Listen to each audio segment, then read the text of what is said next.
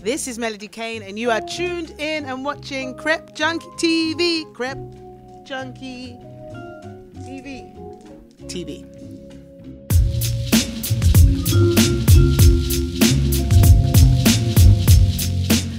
Maddest thing is, and it's always been a way that my friends and I, and I don't know if it's an unwritten thing for girls, um, we always look at the feet. I do, yeah, we do, don't we? I don't know what that is. Is that the same way that guys always look at bums, or I don't know what what is the equivalent of a guy? What does he look for? The way that we look at shoes, I don't know. But for me, I look at shoes straight away. Again, it doesn't really matter what brand of, of shoes you're wearing. Just because I love a certain kind of trainers doesn't mean you have to as well. Everybody's different.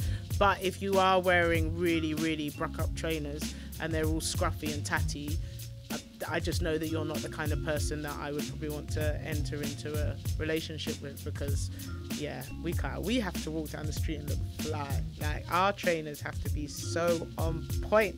Yeah, they have to be so clean and we have to look good. And the first thing people have to see when they see us together is our trainers. That's right. Praise be. But he wouldn't. The guy wouldn't be bad if he had if he had busted trainers. He's not gonna be bad. It doesn't matter how he looks facially. If your trainers are busted, you're not bad to me. You're just. I'm very lucky. I'm very fortunate that that that my boyfriend is so on point with his trainers. They're always. That was actually one of the first things I noticed about him as well. That his trainers were on point. So that just kind of goes to show you that I could only be in a relationship with someone whose trainers are on point. Yeah, it's the little things though. You know what you look for, don't you? Just like, I don't know. It's like saying, you know, somebody had really matted hair, or it's the same thing to me. You know, if you don't take care of your trainers, then yeah. Two bags. Resell.